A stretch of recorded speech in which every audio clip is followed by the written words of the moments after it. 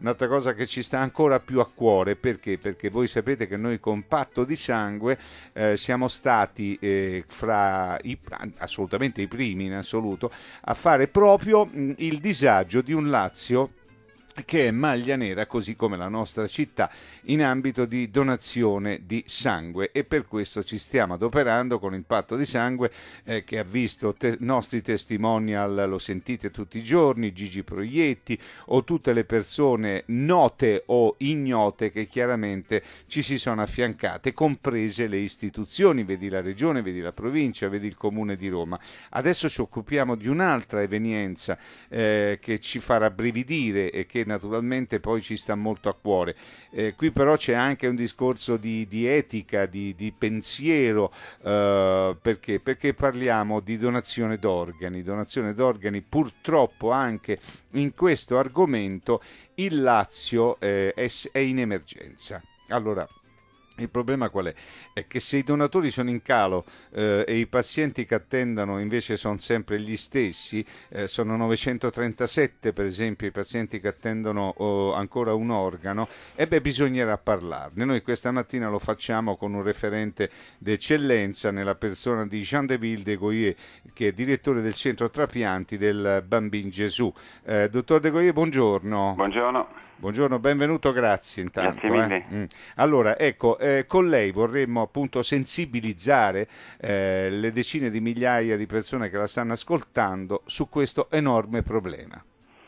Sì, è, è vero che non è una storia recente, è la storia della, della trapiantologia in generale, che la domanda di organi per trattare più pazienti sta alzando con il tempo, abbiamo eh, possibilità di richieste molto più numerose che che possiamo fare eh, oggi e infatti dobbiamo limitare le indicazioni. Questo è un primo fatto, vuol dire che anche sulla lista non vengono assolutamente tutti, perché mm. ci sono regole e ci sono controindicazioni che mm. sono relative, che sono offerte alla terapia standard quando il trapianto potrebbe essere un'alternativa. Mm-hmm. Allora dobbiamo limitarsi perché infatti la, la, la limite è la donazione.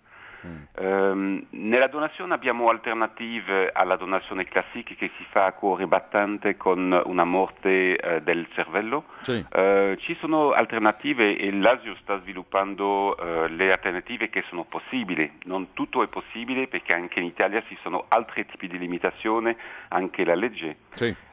la cosa è che noi tutti voi eh, che ascoltate questo, eh, io a casa, tutti in famiglia, è eh, aumentare il tasso di, eh, o diminuire il tasso di rifuso dalla mm. donazione. Mm-hmm. È vero che attraverso tutta l'Italia c'è uno da eh, tre eh, donatori potenziali Mm. che non è eh, utilizzato, non dà il cuore, il re, le due reni, un mm. fegato che può essere anche diviso in due, due polmoni, vuol dire 5-6 vita che possono essere salvate attraverso questi organi, mm-hmm. è refusato per motivi che Um, a volte è detto è religioso, a volte è detto che non so la volontà della persona. Mm-hmm. Vuol dire che uh, non è ancora chiaro per tutti che uh, dal punto generale non c'è una sola religione che non sopporta la donazione, mm-hmm. che dal punto delle famiglie e delle persone. Mm-hmm. Dire che non so quello che lui che, dec- eh, che il, il, decesso certo, eh, sì, sì. A, a, avrebbe pensato, certo, ma certo. potrebbe che andando a dire no va contro la sua opinione anche.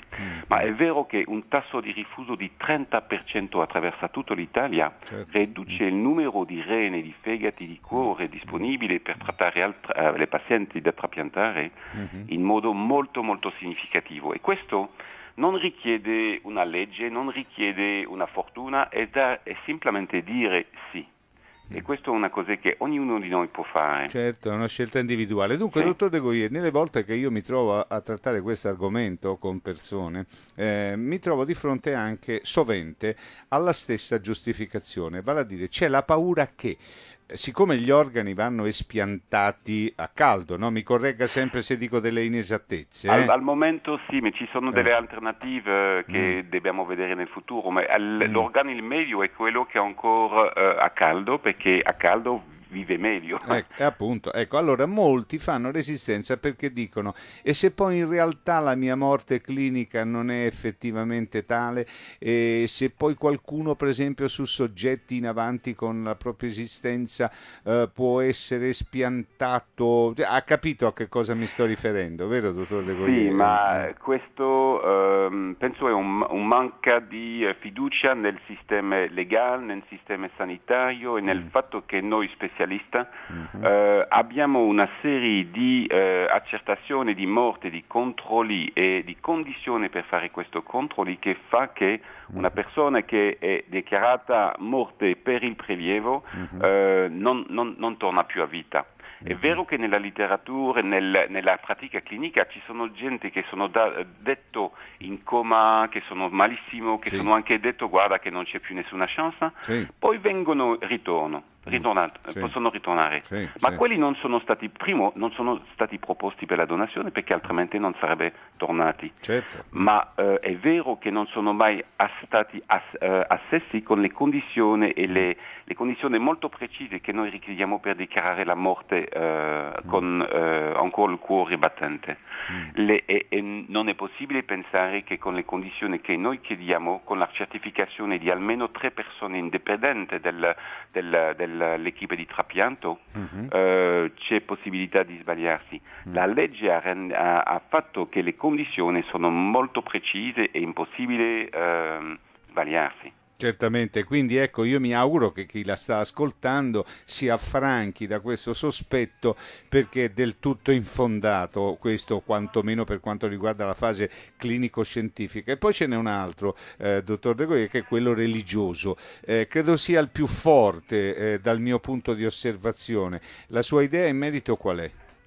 Io eh, lavoro nel campo da 25 anni, ho fatto anche giri in Inghilterra e sono in contatti con tanti eh, paesi di, di, di, religione differenti. Uh-huh. So assolutamente che dentro le, le, tre religioni principali che vedo in, in modo abituale, che sono le musulmane, sì. eh, le cattoliche e anche eh, eh, quelli che le, le non conosco la parola in italiano, eh. le, da, da, Israele.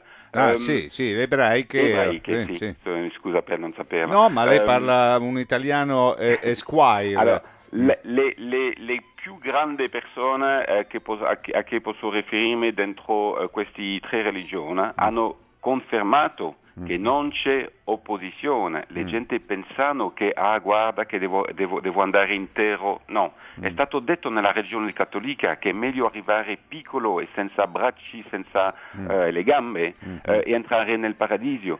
Um, è un atto, è stato detto eh, che è un atto di generosità ultima. Certo, certo. Per la religione cattolica non c'è assolutamente nessun dubbio. E per le altre, le grandi persone dentro queste religioni hanno detto la stessa cosa. Non c'è assolutamente nessuna controindicazione mm. e eh, si rileva più della, della, della, mm, della decisione personale. Certo.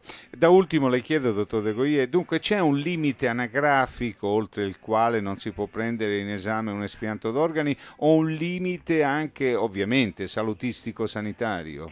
No, c'è una limite di salute, la limite di mm. età mm. eh, possibilmente va con la limite di salute, ovviamente mm. a 80 anni di età ci sono più controindicazioni di salute che all'età di 25, certo. eh, ma noi vediamo la condizione generale, eh, l'anamnese, eh, sì. se la persona ha fatto il diabete, l'ipertensione, prende delle medicine, mm. ovviamente non è un candidato ideale alla donazione, certo. ma eh, è più la condizione di salute senza riferirsi all'età.